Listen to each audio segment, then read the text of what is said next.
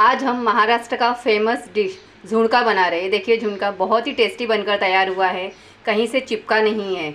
बहुत ही अच्छा लगता है खाने में। इसे आप रोटी के साथ, पराठा के साथ, भाकरी के साथ खा सकते हो। ये देखिए रोटी, झुणका, मिर्ची की चटनी, प्याज हरी मिर्च। परफेक्ट खाना तैयार है।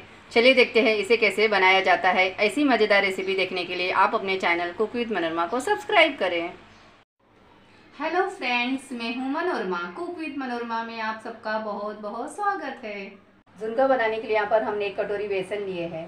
एक कटोरी प्याज है जिसे हमने बारीक टुकड़ों में कट कर लिए है। तीन बड़े साइज़ का प्याज है। जितना बेसन रहे उतना ही प्याज लेंगे। झुनका बहुत ही टेस्टी बनकर तैयार होता है।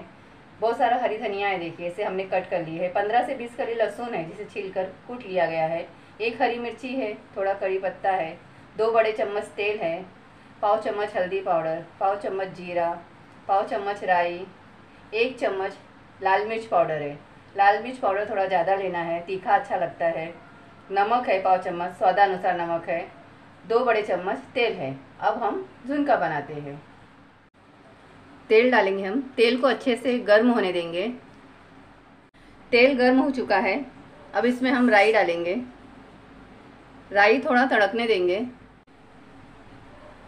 जीरा डालेंगे। राई, जीरा दोनों अच्छे से हम तड़का लेंगे। ज़्यादा गर्म तेल में राई नहीं डालना है। नहीं तो राई में से जली हुई स्मेल आती है। और कच्चा रह जाएगा। तो कड़वा लगता है। इसके लिए राई और जीरा का तड़कना बहुत ज़रूरी है। राई में से आवाज़ आनी चाहिए तड़कने की। देखिए, राई तड़क चुका है। इसमें से आवाज़ आने लगी है। देखिए, तड़ तड़। अब इसी समय इसमें हम कुटा हुआ लहसुन डाल देंगे। इसे अच्छे से भून लेंगे। झुनका खाने में बहुत ही टेस्टी लगता है भाकरी के साथ, रोटी के साथ।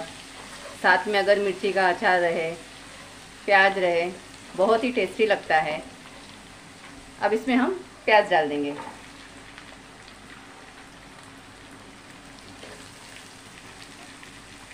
हरी मिर्च, करी पत्ता। प्याज को हमें सॉफ्ट होने देना है। प्याज अच्छे से सॉफ्ट हो जाए, इसका कलर ज़्यादा चेंज नहीं करना है। प्याज को हम सॉफ्ट कर लेंगे। प्याज सॉफ्ट हो चुका है, अब इसमें हम मसाले डालेंगे। हल्दी पाउडर, लाल मिर्च पाउडर, नमक। इसे अच्छे से मिक्स करना है। देखिए, अच्छे से मिक्स हो गया है। अब इसी समय इसमें हम बेसन डालेंगे।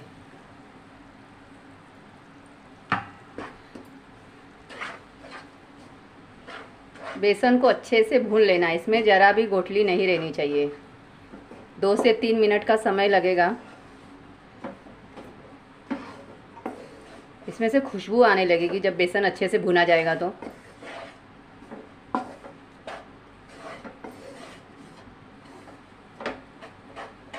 ऐसे प्रेस करके जो भी गुठली बनेगा उसे हम निकाल देंगे।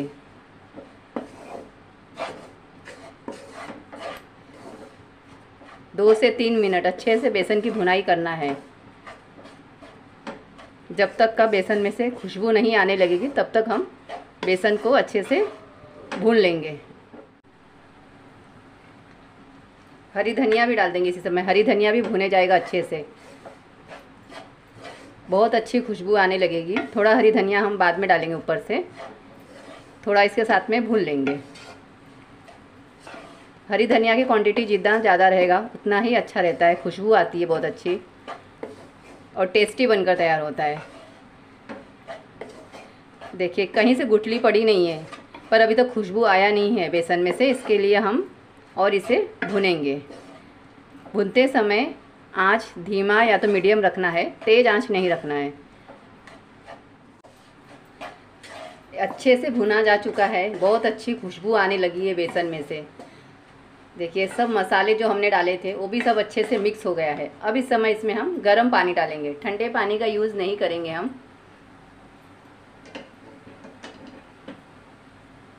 पानी ज़्यादा नहीं डालना है, पहले हम थोड़ा पानी डालेंगे।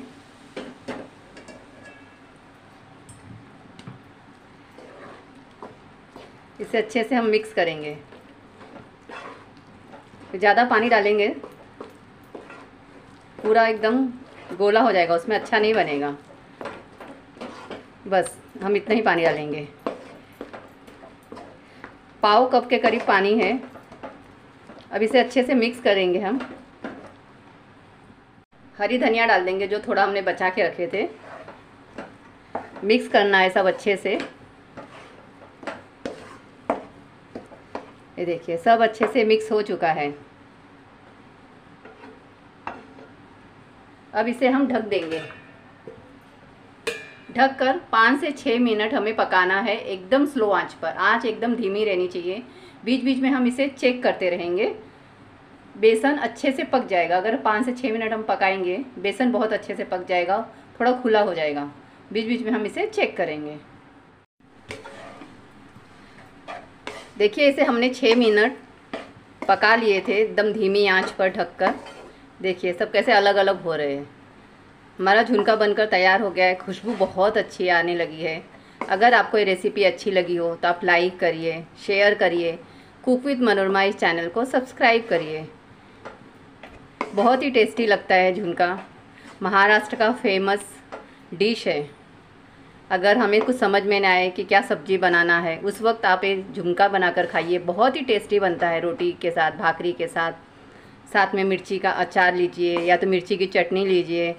कच्चा प्याज, बहुत ही टेस्टी लगता है खाने में। अब हम गैस को बंद कर देंगे। इसे ढक देंगे। कम से कम पाँच मिनट हम इसे ढका हुआ रखेंगे। बाद में सर्व करेंगे।